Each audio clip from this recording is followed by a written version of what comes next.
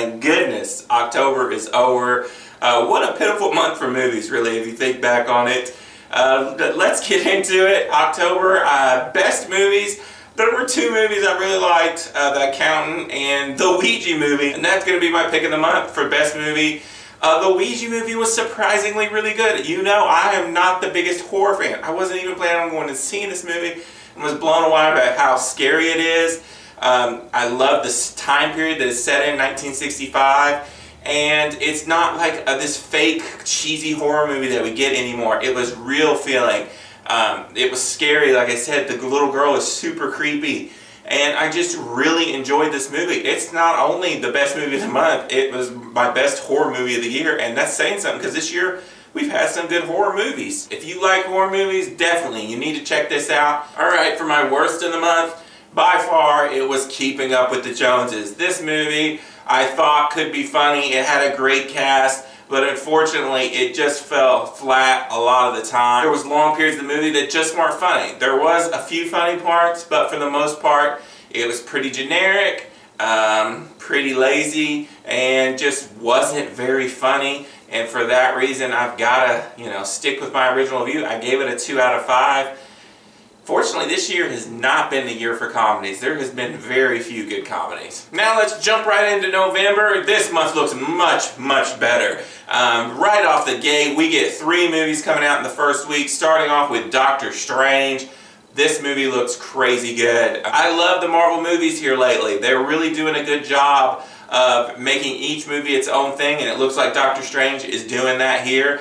This looks like a more mysticism kind of uh, multiple realm kind of Marvel movie. And it just looks really good. I Benedict Cumberbatch as Doctor Strange. Looks interesting to me. I can't wait to see this. Uh, next up we have Hacksaw Ridge. This is the Mel Gibson directed movie. He's come back from a long hiatus. Listen, block out all of Mel Gibson's outside activities. He's a great director and this movie has great buzz. Uh, really looks like a good war movie. I haven't seen a good war movie in a long time. I mean, Fury was pretty good, but this looks spectacular. Andrew Garfield. Um, the trailers have looked great. I can't wait to see this movie. I can't wait to see if Mel Gibson brings it again, which I really do think he is going to. And last but not least, on the first week of November, we get the animated movie Trolls. This is Anna Kendrick, Justin Timberlake, a DreamWorks movie based on the old 90s toys, the little troll things. I had some when I was a kid. And, you know, the trailers for this don't look horrible. Um, I am a sucker for good animated movies, even average animated movies I like sometimes. So this looks good. It's holding a really high Rotten Tomato scores right now. I think it's like 85, 86%. So uh, I am definitely looking forward to this as well. Then on the 11th, we have two new releases that I'm interested in. One is Arrival. This is a sci-fi movie um, you've got Amy Adams who is like this uh, expert in language and these little egg-shaped pods have landed all over Earth and they come for her to kind of try and talk to aliens, figure out what they're here for. Uh, just the overall scope and view, look of the movie in the trailers looked really impressive. Um, it is another movie that is getting really good reviews. Um, so I am psyched. I love sci-fi. This looks like my cup of tea. Um, the other movie coming out that week is Billy Lynn's Long Halftime Walk. This is an Ang Lee film. For me, Ang Lee is kind of hit or miss sometimes.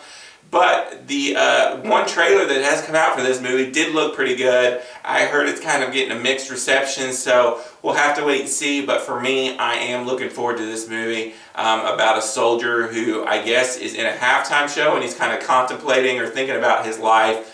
Uh, uh, you know, maybe he's probably got post-traumatic stress syndrome or whatever. So I don't know. It looks pretty interesting. Then on the 18th, we get three new movies. The first one and the biggest one, Fantastic Beasts and Where to Find Them. This is the prequel 100 years before the original Harry Potter um, about this guy in New York in who's uh, hunting down beasts that he's let loose or something. I'm not really sure on the details. It's from the world of Harry Potter and just here recently I watched the Harry Potter movies. I did enjoy them. Um, I'm looking forward to this. The trailers do look good. I'm almost more excited about this than I was the Harry Potter movies because um, this takes place so far before the original Harry Potters. It really doesn't look like it's going to have much to do with Harry Potter. Then we get the Edge of 17. We got Hailee Steinfeld, who is kind of this new upcoming actress. I really did like her in Pitch Perfect. Um, she seems like this is going to be her breakout movie. Woody Harrelson's in here, kind of a coming of age movie for girls. She uh, is, I guess, struggling with her looks and things in high school. It looks really, really good. It looks like some really edgy comedy, uh, some dark humor in there, and Woody Harrelson looks fantastic as her kind of teacher mentor. Looks really good. I've been looking forward to this ever since I saw the first trailer.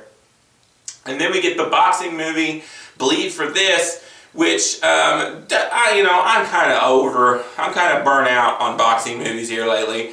But this one does look interesting. I mean, you got Miles Teller here. He's like at the top of his game, and then he's in a car accident or something, hurts his neck, and, you know, everybody says you're never going to box again. Apparently, he's just not going to give up, and I guess it's about his story about trying to, be, you know, box again.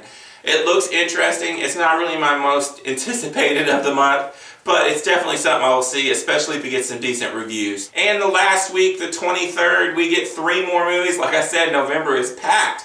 Um, we got Moana, the Disney animated movie. Disney has been on a roll here lately. Zootopia, Wreck-It Ralph, uh, Frozen, Tangled, they've all been great. They have just been spitting out hit after hit after hit, and this looks like another one. The trailers look beautiful. I mean, this has got to be one of the best looking Disney movies I have seen. Just on the trailers alone, it just looks breathtaking. Uh, the story here looks interesting. Looks like there's going to be a lot of laughs. You got The Rock playing one of the main characters. Uh, they just released a clip apparently of him singing it. I didn't watch it because I don't want to be ruined. Uh, this just looks like another Disney masterpiece, so I can't wait to see Moana. Then you have the Ben Affleck, Mary Cotillard, uh, Allied, which is like this interesting kind of Mr. and Mrs. Smith set in, I guess, World War II or World War I. Uh, it looks very interesting. I haven't heard a whole lot about this movie. I watched the original trailer. It looked good. I like Ben Affleck movies, so, and it looks like it could be an interesting flick. And then last but not least, we've got Bad Santa 2. Um, I love the first Bad Santa. I just recently rebought it here. I'm going to do a classic review before this movie comes out uh, to rewatch it, see if it holds up see if I still love it as much as I thought I did, and then uh, we'll see this new one. I remember loving Bad Santa because, because it was just so raunchy at the time. I don't know, we've got so many raunchy comedies now. I don't know if it's going to hold up, but we will see. The sequel looks interesting. And that is November. We are packed. This looks not only is full with movies, a lot of these could be really, really best movie of the year contenders. So I can't wait to see all these great movies. So for classic movie reviews this month, like I said, I'm going to be doing Bad Santa. I want to see if this movie holds up, if it's as good as I thought it was. I have two more Harry Potters to do to get ready for Fantastic Beasts. As far as TV, I want to shout out for the millionth time Everybody watch Superstore. The show is incredible. It's so funny. It has quickly become my, my favorite show of this season. It was already good last season. Check it out. It has been freaking tastic. And with that, I'm going to say uh, see you next month. Peace out. If you like this video, click that like button comment below if you want to talk to me about anything. Uh, click the Rainy Cage button to subscribe and keep up to date with all my videos. And I'll leave you with a few of my most recent videos and some of these sweet, sweet dance moves. This is Rainy Cage. Peace out.